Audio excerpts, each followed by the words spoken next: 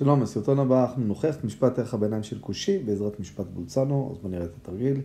T-F רציפה בקטע הסגור AB ויהיה Y0 שייך ל-R ממשי בין FA ל-FB. יענו כמו בשרטוט, בין FA ל-FB.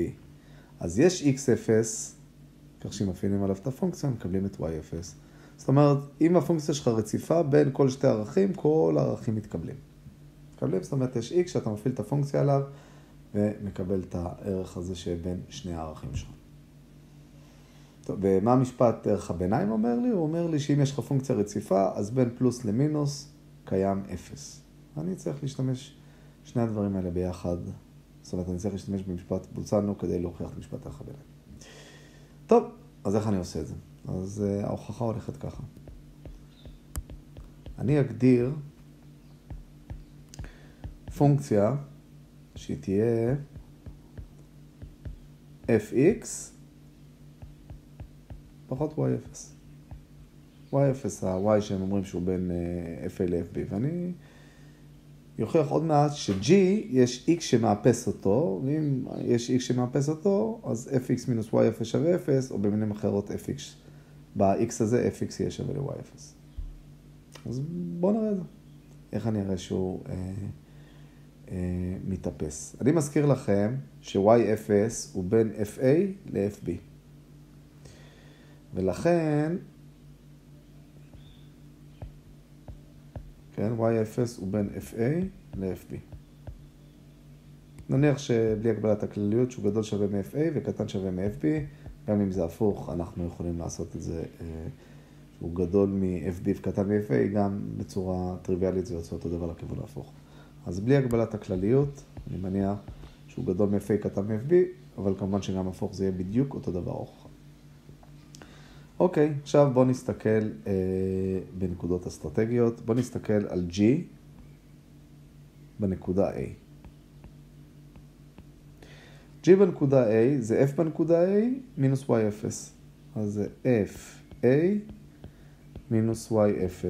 אבל אם אני אקרא לזה סמיילי, אז אני אומר שאפילו, דרך אגב, זה שאמרתי שהוא בן, אז לצורך העניין, בלי השווה. בסדר? כי אם זה שווה, אז ברור שיש היפוס. אז y0 הוא ממש גדול מ-fa וממש קטן מ-fb. אז עכשיו שאני מסתכל על fa מינוס y0, אז מסמיילי, יכול להגיד בגלל ש-y0 גדול מ-fa, שזה יוצא מספר שלילי. כי y0 גדול מ-fa. ואם אני אסתכל ב-gb, אז זה הרי fb מינוס y0. אם עוד פעם אני אחזור לסמיילי, אז עכשיו y0 קטן מ-fb, אז זה חיובי. עוד דבר שאני יכול להגיד, שאני יודע ש-f רציפה, ולכן g, מה זה g? g זה f פחות איזשהו מספר, אז ברור שהוא רציפה. אז g רציפה כחיסור רציפות. F רציפה כי אמרנו שהיא רציפה, ו-y זה מספר. מספר, פונקציה ששווה רק מספר היא תמיד רציפה. אוקיי, אז f פחות המספר זה רציף כחיסור רציפות. f כאי רציפה ופונקציה שנותנת רק מספר היא רציפה כקבוע.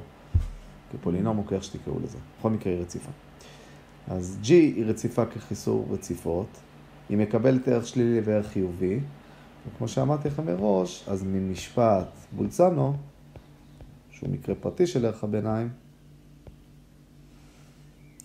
קיים x בקטע AB, כאילו בין הפלוס למינוס, כך ש gx, אפילו נקרא לו x0 כדי שזה יתאים לזה, כך ש-gx0 שווה 0, אבל בואו נציב עכשיו פה gx0 שווה 0, נקבל fx0